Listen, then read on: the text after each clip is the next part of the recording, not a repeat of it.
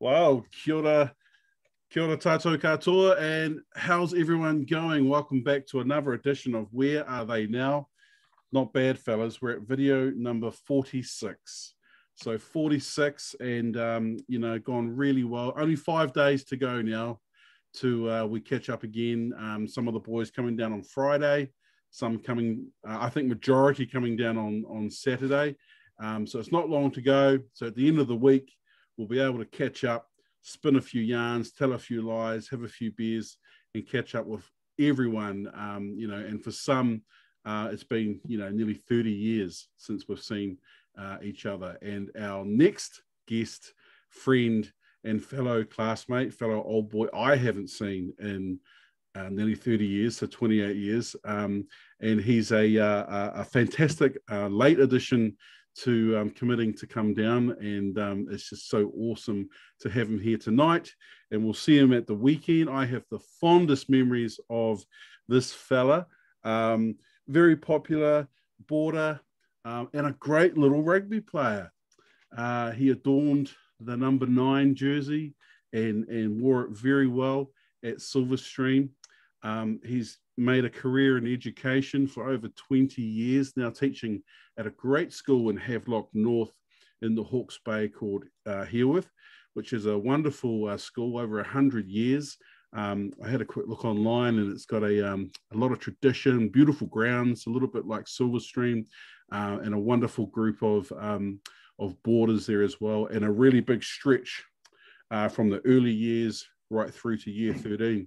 So no doubt we'll hear a little bit about that from um, our, our, fellow old boy. So look, straight into it. It's time to say a massive hello and kia ora to your friend and mine. We're going to see him at the weekend. It's hi to Scotty J, Scott Jensen. Hey, brother. Uh, hey, mate. How you going? Yeah, awesome. And um, like we just said before, mate, it's great to see you. I haven't seen you in ages, and I know the boys are just going to be stoked to both see you, hear what you've been up to all these years. So thanks very much for one for joining us, and thanks for making that commitment to come down to the dinner on Saturday. Oh, looking forward to it. Ah, awesome, Scotty. Well, you're looking well, mate. You're looking like you can you can still put that number nine jersey on. Oh, the body's slowly packing up, you know. So it's keeping up with these younger fellas now. So that's uh, getting harder and harder each year, I must admit. Oh, awesome, mate. Well, once again, thanks for joining us. Let's get straight into it, Scotty. Um, take us back to when you came to Silverstream initially. So, of course, 1989. Tell us a little bit about where you came from, how many years you, you stayed at school for, and like most of us, sort of your first sort of memories of Stream. Uh, you were a boarder, so obviously you'll, you'll have some memories of the boarding hostel. Take us back to sort of where it all began. Yeah, well, I came from a little tiny primary school in central Hawke's Bay. I think we had probably the peak of its role was about 80 kids, so probably about 60 something when I was there.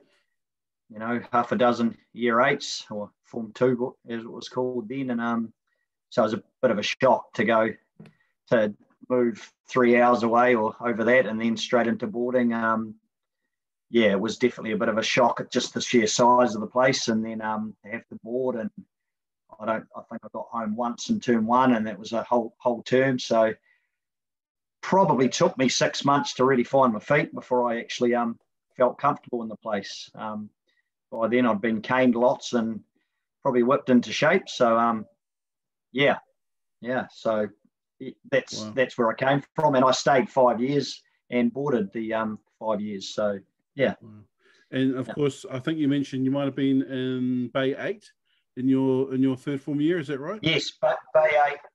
Yeah, Dave Wallace. Um, I think I think was I the closest bid to him, or it might have been Neasy in one corner and Corker over the other side. There's only three of us plus um, Dave Wallace here. So um, yes, we we tried to keep on the good side of him.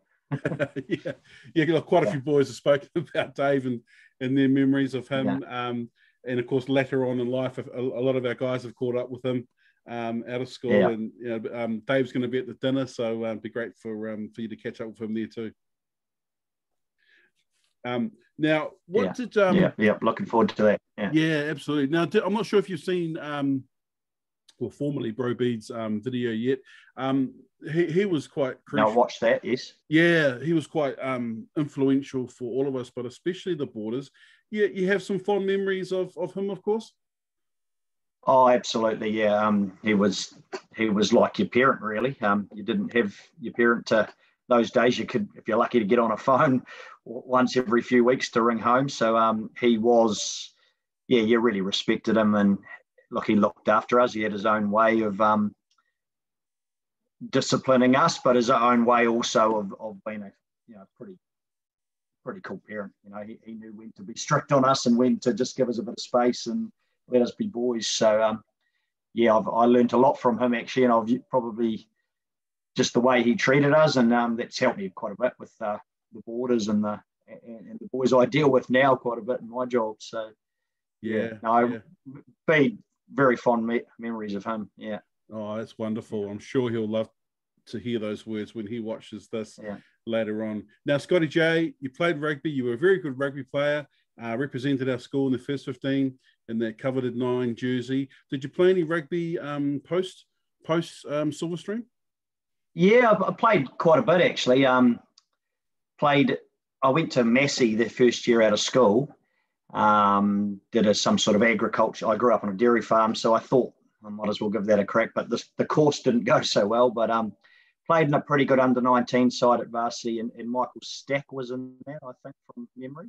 Okay. Um, and then I moved back to Wellington. Um, uh, the course wasn't for me. Um, and I went to CIT for a couple of years um, and did a diploma in it was exercise science. Yep. So basically becoming a personal trainer or someone in that sort of sports industry, um, and played for Huddle Boys Maris for a couple of years. Um, I think I played with Jake Smith and Corker and all that again. Um, and then had another year in the Colts there as well, two years in the Colts at Huddle Boys. And the second year it might have had definitely had a lot of boys from St Bernard's first 15. Um, might have had Noel Mackey in it and boys like that. I'm, I'm, struggling to remember now, but a lot of St Bernard's boys. Um, we had a couple of good good years in the Colts, yeah. So after that, played a bit of senior rugby in Palmy when I went back for Teachers College. Uh, played for Marist and Varsity, um, and then over Wanganui for Marist. So yeah, played played a bit. Most a lot, lot of senior rugby, no rep stuff or anything. Um, I think I made the Wellington Colts team, but it was the B team, Colts B. Um, it might have been picked out of the under 21 grade or something. It wasn't the, the top side, it was like the second side. Yeah. Oh, good. So that you. was about as far as I went there. Yeah, yeah. Well done, mate. Yeah. Now, you've already answered the next question and sort of what you did immediately after that. And you obviously just said to Massey and CIT, which a lot of our boys um, did also. Um, now, education. I mean, you've been doing it now for well over 20 years. What, what drew you towards becoming a teacher? I think out of that diploma in exercise science I did, I didn't really enjoy working in gyms. So I ended up running a like a holiday program with kids, sports sort of program um, in Wellington, um, just one summer, or it must have been over the summer holidays or something. And then it's like quite enjoyed that. So um, enrolled Teachers College and headed back Palmy way. So for three years um, and did my um, degree there. So yeah, I think that was probably the catalyst for it. I, I always had thought maybe a PE teaching, but for some reason or, or another, I'd never gone that way. Um, I don't know why, but um, as it happens, I've ended up at the school I'm at as a specialist PE teacher, and I did a couple of years just as the PE teacher as well. Oh wow! So let's talk about your current job. So that's at uh, at the school I mentioned at at, at Hereworth. So so how long have you been there, and and, yep. and what age kids do you teach? Um, so I started there about 2008. So I, I, think I've done about 12 years there. I've had a couple of years away in between, just a, a break. Um, but I, I, teach year six at the moment. So that's what would be standard four in the old sort of uh, I was going to ask yeah. you that. So standard four, yep. So they're yeah, sort of last standard year before, before they go into what we would have known as intermediate. Yeah, but we have intermediate as well. So I, the, the rugby team I coach is probably more the, the Form 1 and Form 2 boys. Yeah. Oh, wonderful. Yeah. Um, tell us about the school. Um, similarities between uh, and, and, and Silverstream?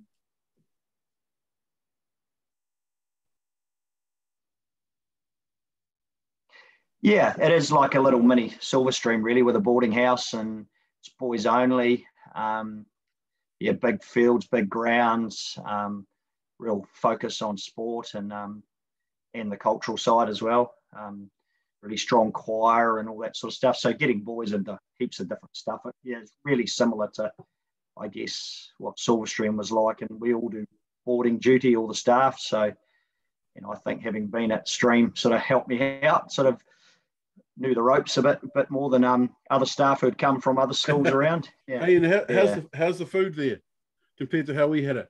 Oh, a, a, lot better than than the old days. Yeah, yeah. They don't know how good they've got it. They probably still think it's bad, but yeah, right. It's, it's yeah, it's pretty good.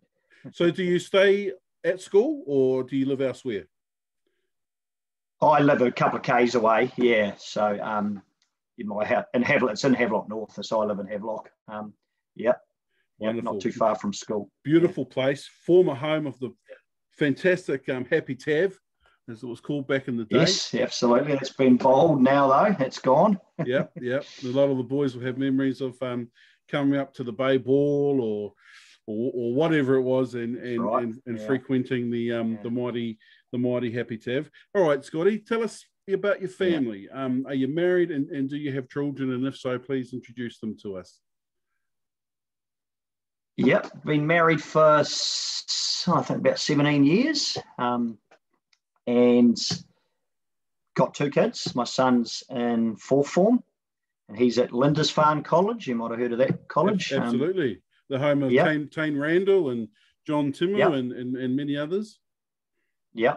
Um, so he's there, and my daughter is third form, and she's at Havelock North High School, just which is only just down the road from from here, so she can walk each day. So Wonderful. Um, and my wife was a teacher for nearly 20 years, and she's now doing real estate. So she works for Harcourts oh, here in ah, Havelock.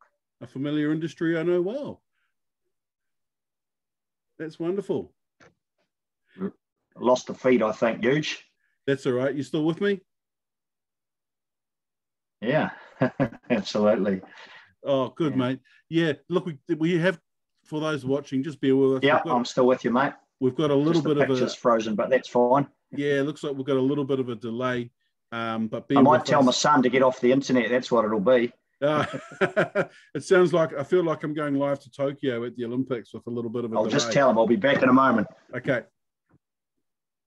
There you go, guys. Uh, just a little bit of a delay there. So Scotty J's going to go tell his son to uh, to get off the gaming or whatever he's on. Right, I'm back there, mate. I'm just telling him to get off the. It's obviously online and it's stuffing up the feed. Yeah. Oh, no worries. Well, um, look, just staying with your family. I think you mentioned your wife was a teacher. She's in real estate now. Um, how look? How was real estate up up your ways in in the Hawke's Bay? Yeah, it's pretty good. Um, slowed down. She obviously she started sort of just before COVID, so what wasn't an easy start. Um, probably about six months before that. So but she's found her feet now, and um, she's yeah, she's doing well. She's holding her own. She's earning as much as she would teaching at this stage. So, oh, good on um, She's only been in it two years, so yeah, I think she's enjoying it. Yeah, yeah. good, good, good. And look, Linda's Lindisfarne. Tell us about that. I, I, it's great school. Um, what was a what yeah. made the decision for you to send your son to Lindisfarne? Oh, the school I'm at, a lot of the boys sort of head on there afterwards. It's kind of a natural pro- progression, really. They'll either go Lindisfarne or they might head to somewhere like um, Napier Boys or Wanganui Collegiate. Um, so it, it's, I'm at a private, this boys' private school, and uh, yeah, they tend to, I'd say 50% of the boys from my school go to Lindisfarne, and you know, my son Keegan went through the school I'm at, so he, that's where he really desperately wanted to go. Yeah. Um, but yeah, probably for us it was there or Napier Boys for him. So yeah, quite lucky. Quite lucky. A lot of good schools up up that ways. Yeah, a lot of a lot of schools in, in Havelock North, yeah, um, and Hawke's Bay, yeah, yeah, heaps of big boys schools and and and some good co-ed schools as well, yeah. Yeah, absolutely. Okay, let's take it yeah. back to stream. Um, you'll have yep. heaps. You have heaps of memories. You did the full five years there. and, and lots of memories as a boarder, of course. But look, have you got some uh, memories that have stuck with you all this time that you just haven't been able to shake that you you, you can share with with the guys? Or ones that yeah, well, listening to some of the other videos, um, yeah, some of the people brought lots of them up. Obviously, um, the dining room raids I remember really well that people mentioned. Um, I remember going on a few of those actually with Troy Wathy. Um, and, and, then um, obviously Fui's motorbike incident and things like that. Um, but one sort of, I don't think anyone, or a couple that people haven't mentioned. Um, one, I remember a group of us getting in quite a bit of trouble. I think it was around my birthday in October. We got some flagons somewhere down by the tote and we went into Trentham Memorial Park. Um, it was a group of about six of us. I'm struggling to think it might have been Blues and Fui and I was maybe there. it might have been you, yes. Yep. And, and, we sat at a picnic table and we drank drank all these flagons, played some drinking games, but that wasn't the problem. It was when we got back to school, a couple of us got caught.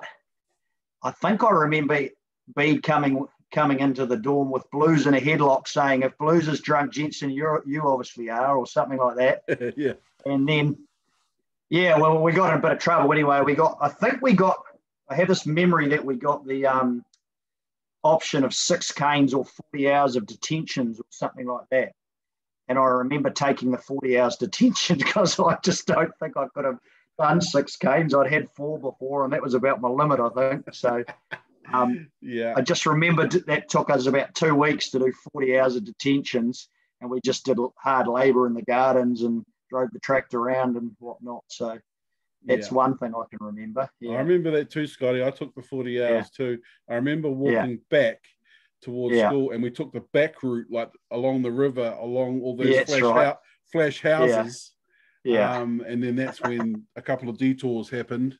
And uh, yeah, yeah, yeah. Uh, but no, no, geez, that's yeah, I think Bryce was. Yeah, because that was actually my birthday. I remember it. Um, it wasn't a, a good ending, but um, yeah, yeah. Oh wow! And the other memory I have is, I mean, I was quite into that when I first started. Um, the first fifteen were like All Blacks to me, and it was only made sort of more intense by I think Mannix making the All Blacks a year or two later. Um, so I, I remember if there was a college match on that night, we got a video or like a they put a big screen up in the assembly hall, which I believe is now the library. Yep.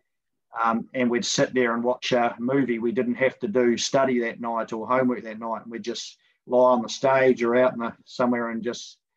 I remember was it rather Jeff or someone up behind playing these movies on this big reel and it took you about 10 minutes before you could actually hear it because the sound was funny, but then your ears got used to it. But I can remember that quite well. Yeah. So.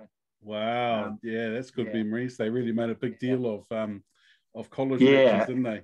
I can't remember as if they won or if or if it was just any time they played, but um midweek. So yeah, was I looked forward to those movies. It was pretty cool.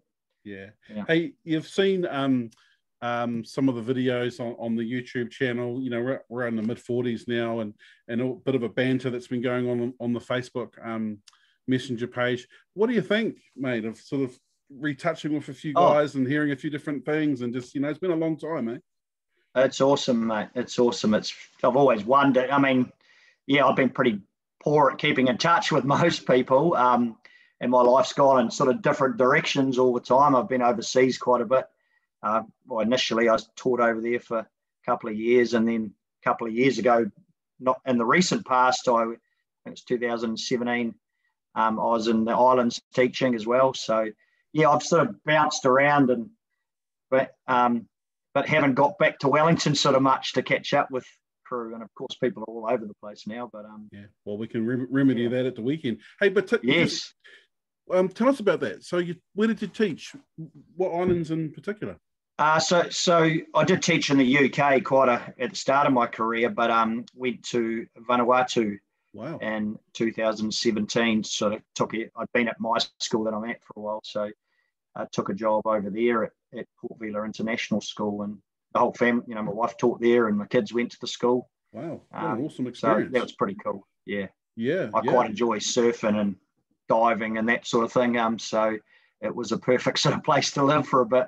Yeah. Yeah. Now I remember you and uh, Blumen Blues were um, were close uh, at school. Have, have, you kept in touch over the years at all with with uh, Blues? We did for a while. Um, he was a groomsman at my wedding, and I was a groomsman at his wedding. And but I actually think the last time I saw him, I was just trying to think.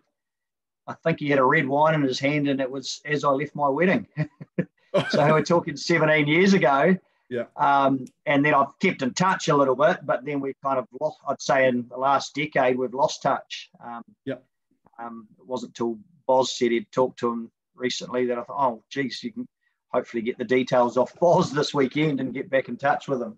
Yeah, yeah, yeah, absolutely, absolutely. Um, yeah, that's right. Because you know, all of us have taken different um, tracks in life, of course, uh, and it's just great that this forum has allowed um, most of us just to just to reconnect and and just to say yeah. hey and hey and just see just see what, what what you're up to. Now, remind me, I'm pretty sure were you on our seventh form PE trip? No, well, I should have been, but but um, I I think we must have had the cross country a couple of days before, and I um I started puking up during it, and I got a really really bad tummy bug and like ah. some gastro bug, and I was in the I was so gutted. I was in the infirmary all week and missed the thing. Oh wow! Yeah. Okay, okay. Yeah. Oh, shame. Now we've got a number of boys, of course, who are stuck in Australia, who can't join us, um, which is a real shame. But um, you never know. In the next few years, we'll we'll be able to catch up. Perhaps even go over there if we keep some momentum yep. up. Um, look, who are you looking forward to catching up with this weekend? Anyone in particular? Oh, heaps, heaps of guys. Um, you know, Colin Hancock. I, you know, I'd love to have a chat to him. Um, seen him in a while. Um, Mike Byrne. I, I mean, his story was really interesting. Yep. Um, I've had a couple of health scares myself, um, so um, I think we could compare notes pretty closely. oh wow! Anything serious, um, Scotty? Yeah, well, I, I did have I had cancer in my twenties. Um, oh wow!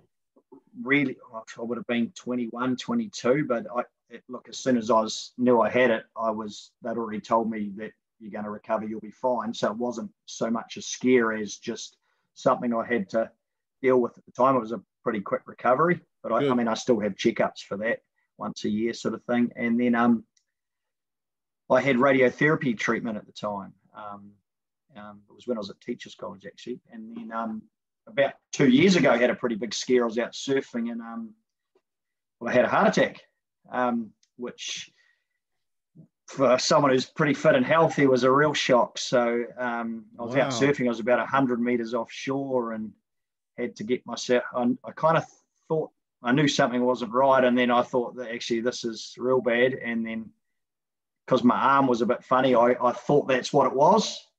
Um, I, you know, one of the symptoms that I was kind of aware of, and um, yeah, just managed to get to shore because there's no one around me that I could sort of yell out to. Yep. And um, yeah, I got rushed to Wellington on a plane, and um, the helicopter was too. The weather was too bad for the helicopter, so um, and then, yeah, cardiac, full cardiac arrest and everything in the plane, and just made it to Wellington. Um, wow. And so we're talking the full, we're talking the full Monty here. So in the full, yep, the old everything, yep. Um, so you know they could, sort of couldn't work out why that had happened for someone who's reasonably healthy, but um, it turns out it's most likely was my cancer treatment might have sort of somehow nicked the edge of the heart, the radiotherapy, and, and caused a little bit of damage, which might have caused a blockage. Um, yeah, so listening to Mike's story was interesting, you know, for, for me hearing that. But yep. he, I think he's had a much harder recovery. Look, I had nine days off teaching and I was back teaching. So, wow. Well, thank you for yeah. sharing that, mate. And I'm so glad yeah. that you're all good. Yeah. Um, um, no, I'm good now and I'm yeah. back surfing and back I do a lot of mountain biking and that sort of thing. But um, yeah, oh, it, wow. it, was a real shock. I, I, think what was it April two years ago. So yeah, yeah. Oh yep, wow, it was a big wow. one. yeah, it sounded like it. Um, but yeah, like yeah. I said, mate, you look really well and you sound yep. good. So I'm glad that you're um, obviously um, um, still with us. Now, do you still keep in touch with anyone from from Stream? Um, I have a. I, I, I see uh, Barry O'Sullivan a bit, hey, like oh, yeah. a couple of times a year because he's around Havelock and Tumu Timbers and Um, I have a we have a dinner with a group of people, and he's at that once a year. It's actually this Saturday, uh, um, so I've had to cancel that. um, but that's higher, fine. Higher, um, higher priority, Scotty. Yeah, absolutely. and, and, then I've seen Brendan around a couple of times. I, I, think his son's actually coming to the school I'm at next year. Um, but regularly, no, not really. Um, but see the odd person around, yeah. Um, I, have got a, a guy, I don't know if you remember a guy, Greg Driscoll. Yes. His, his son's in my class yep. this year. So I've had like taught some people's sons who went through stream, not our year, but uh, Amit Malik, his son came through our school. Oh, Amit, a successful um, barrister over in Melbourne. I yeah, think. yeah. So I think he's gone overseas now, but his son came through our school. Yeah. So. Oh, nice. Yeah. So oh. yeah, I bump into people. Yeah. Reasonably often, but don't really keep in touch. Yeah. Yeah, yeah. sounds like most like most of us. All right, Scotty. Yeah. Well, look, we're at the end. Um, look, wonderful catch up, and of course, we, we can carry this on um, at, at the weekend. But the boys, we're going to release this video tonight, and they'll they'll all be watching it. Have you got a, a wee message to the rest of the guys, perhaps the guys over in Australia that can't join us, and and all the rest of the boys that are watching? You got a wee message from Scotty J? Oh, I'm just really looking forward to catching up. Um, you know, it, it will be cool. And hopefully from there, um, I was quite jealous when a group of them said they play golf once a year. It sounded like a great idea, but something, you know, it'd be cool to just um, regain ties and then potentially catch up with people more regularly. So, um, yeah, looking forward to it. Yeah. Well said. Well, there you go, guys. Um, our mate uh, Scotty J, fantastic to hear from him. And again, you know, um, like a few of our boys have, have, have, had a wee health scare and and managed to um, um, um to pull through that. And um, mate, thank you so much for joining us, Scotty. It sounds like you're doing really well in education at that wonderful school in Havelock. Give my best to your wife and tell her to persist and keep trucking on in real estate. You've, it's a tough industry, but if you persist, persist, persist, you'll do okay. Yeah.